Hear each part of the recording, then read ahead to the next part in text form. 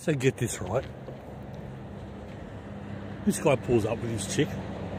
Buddy, where the fuck's your rego fucking? You're not disabled, you prick. Where's your sticker? Fucking start up with me, you prick. Anyway, I told him he could stay here. Told him to fucking be nice about it.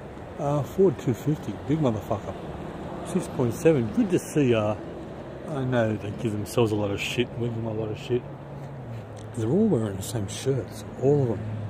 Uh, I've seen about only six Yank cars, and they're not special, they're just Yank cars. Maybe more. What a beast, the 250.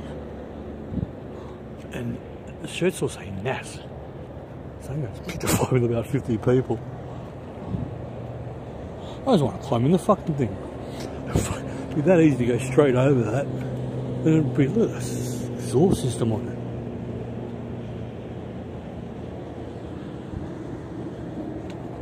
Anyway, I'm glad I had a chat with him. You shouldn't be parking in disabled, disabled spots. It's different, you know. Uh, also, I vow to never use a men's toilet ever again.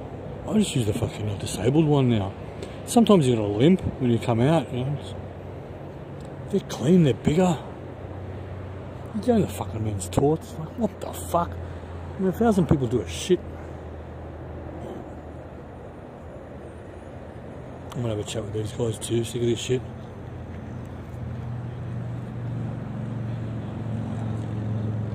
Uh, that's the boss's car. I think I'm the boss. You get the fuck on with it, little pricks. Yeah.